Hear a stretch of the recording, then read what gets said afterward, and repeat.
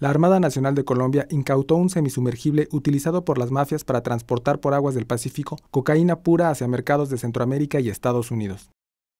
Tropas de la Fuerza de Tarea contra el Narcotráfico Poseidón de la Armada Nacional hallaron un campamento compuesto por cuatro estructuras artesanales que tenían la capacidad de alojar hasta 20 personas, además de dos talleres artesanales en los cuales se encontraron materiales para la construcción de semisumergibles. El personal militar encontró entre la maleza un semisumergible de 13.8 metros de largo y 2.7 metros de ancho, con capacidad para transportar aproximadamente 2 toneladas de clorhidrato de cocaína. El artefacto ilegal fue incautado y trasladado hasta el municipio de Tumaco, Nariño, donde fue puesto a disposición de las autoridades judiciales competentes junto con las muestras del material destruido en la zona campamentaria. Con este semisumergible, la Armada Nacional suma 101 embarcaciones de este tipo incautadas. Con información de Edelmiro Franco, corresponsal en Colombia, Notimex.